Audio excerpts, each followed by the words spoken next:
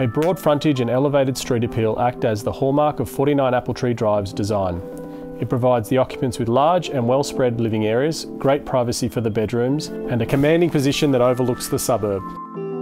The classic family home design has been flipped, letting you live on the upper level, where the sun rays and leafy vistas are your everyday backdrop. Downstairs, additional living space is matched by a ground floor master bed, making the home perfect for intergenerational living. Outdoor entertaining and lifestyle also spans both levels, with a cute alfresco balcony overlooking the low maintenance yard. Here, an expansive timber deck houses a gazebo, which is ideal for dining, weather protected in the great outdoors.